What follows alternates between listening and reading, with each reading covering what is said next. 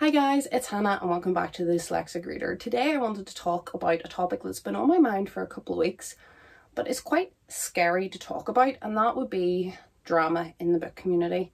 And I don't mean between creators so much, although that can happen sometimes too, but more like controversial things that happen in terms of books, authors, the content, publishers, things like that that I find really scary to talk about and really hard to navigate. So I wanted to get your guys' insights. Do you feel the same way? Do you not? Do you have any thing that might help me to educate myself better? Because I feel like it is an absolute minefield. One of the problems I have is that it seems to take place everywhere. You could post an Instagram post about a book and they expect you to know about an incident that happened on Twitter or Reddit or YouTube. And not anyone can although I have a book Twitter and I have a Bookstagram and I have this channel and I have Goodreads, you can't keep on top of everything. And um, in terms of who's saying what to who, especially I think when I don't follow a lot of the bigger names uh, that seem to stir, not stir all this stuff up, but the bigger names seem to be like more involved with these sorts of conversations and smaller people just seem to keep their nose out a wee bit more, I think and that's not a positive or a negative. That's just in my opinion how I view it.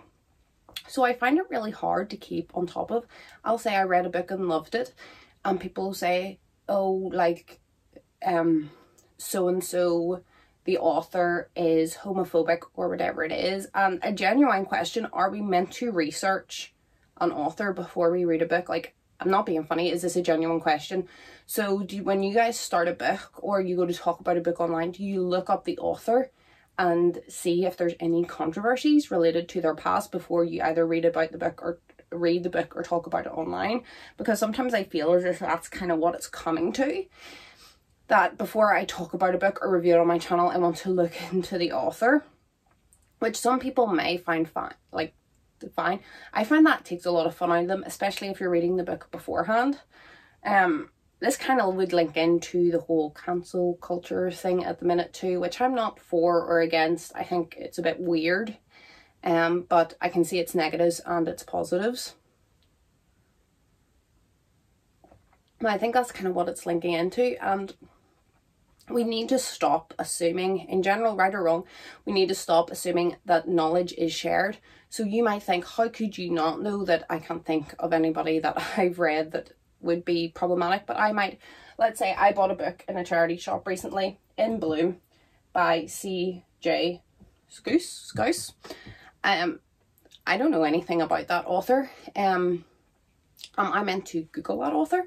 And also, if there was controversy and you think, oh, everyone should know, but like I haven't heard anything about it. So I think we need to stop assuming that if there's controversy around an author, be like, oh sure, everyone knows he's misogynistic, then like not everyone could know. And I know a lot of people on YouTube do not have other bookish platforms. They just like filming videos and posting them and they don't really interact much on Twitter or Bookstagram or any other that thing, which seems to be where most of it takes place. I can never find anything about any of this stuff on YouTube, which is where I consume most of my bookish content.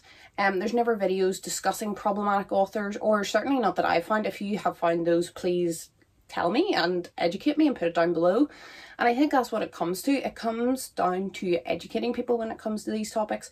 I don't think we can assume that everyone knows everything about every author. And I also don't think that we should assume that everyone has the responsibility to Google every aspect of every author's life before they pick up a book or before they enjoy a book. And I think a lot of the time it comes to like, how dare you like that book? How dare you? How could you? Um, when it needs to be more educated education in the approach. So instead of saying, how dare you like that book? Did you not know that the author said this? Um, how about, I'm glad that you enjoyed the book, but just to let you know, um, the author has said some whatever things in the past and you may want to look into it. I think that's an approach that we've kind of lost in our kind of justice warrior kind of outlook on things. And I'm not saying that that's a bad thing. Um, I think a gentler approach is needed, especially for people like myself who don't live on the internet. I miss all of these things and I see people vaguely reference them and I have no idea what they're about and I don't even know where to begin in looking up these things. I just find books that look interesting to me from the synopsis and read them and if I enjoy them I enjoy them.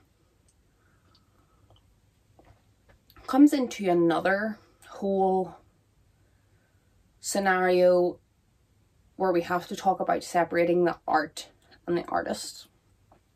Personally, I find that I don't have any problem doing this, but I understand that some people do.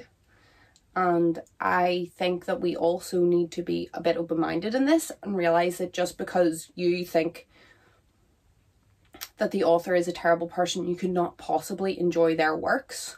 Other people can still acknowledge that the author was horrible and like tell people when they're talking about the book, like, look, you may want to look into this, like, not a good person, but they can still enjoy the work. In my opinion, that's possible. And I think we need to understand that other people have different degrees of doing this. I don't want to get into the whole J.K. Rowling debate. Um, what she said was horrible, and I do not stand by it by any by any means. But I have never give her a penny. I bought all my books secondhand. Um, I've never bought any licensed merch or anything. I've never bought or watched the movies. Um, so I'm not going to destroy those books that I like and give me a lot of comfort when I go back to reread. I certainly won't be giving the girl any support, any money. And anytime she comes up in conversation, I will be sure to let people know that she says horrible things. But I don't think I need to go and burn my books because I do enjoy reading them. They're a lot of comfort to me.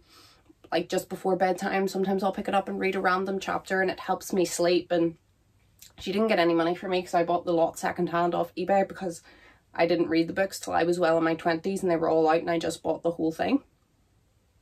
So she never got any money from me. She certainly won't and I will be quick to tell people what she's done wrong. But for me, I can still enjoy the series as long as I'm not supporting her.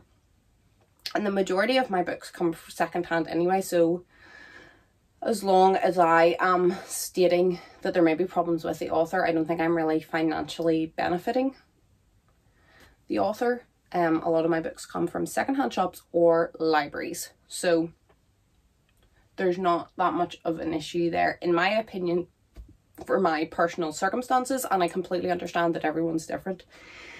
And I think we need to, for some people, this is a job. Reviewing books, talking about books, having a booktube channel, having a bookstagram is a job. And I think we need to just differentiate between those and people that just do it for fun. I just love reading. I just go to my library. I don't do much research. I pick up what looks fun and I read it and I come on here and tell you guys that it's fun. I had a good time. Talk about my favourite characters. And I think there is a slight differentiation between that and people who like are sponsorships, paid to promote books, even ads in their videos. Um, I think they have a wee bit more of a responsibility to make sure that they're making it very clear around certain topics. Also, talk to me on that one. I'm up for debate on that one. And now I'm starting to get nervous that I'm going to get absolutely raked over the coals for this.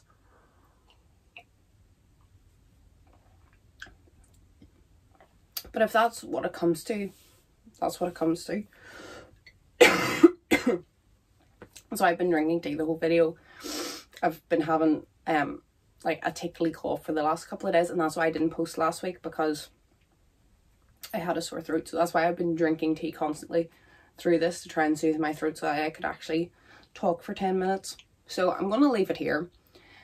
I really, really I'm very open-minded on basically every point that I covered here. So I would love to talk to you in the comments below. Just please, if you have a differing view to me or to anyone else that you're talking with down there, try to keep it respectful. And as I said, like, hey, but did you know this? Rather than how could you not know blank? You know, just keep it friendly and open.